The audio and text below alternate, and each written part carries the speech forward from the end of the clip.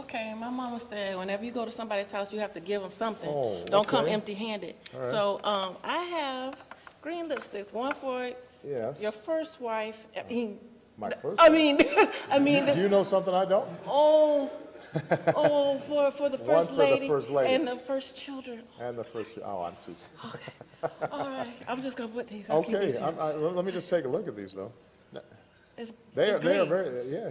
I mean, it, it is impressive stuff. I'm gonna, I'm gonna see, uh, how it looks. I'm gonna ask Michelle to try it on maybe tonight. Yeah, oh, okay. All right, thank you. All right, Thank you so.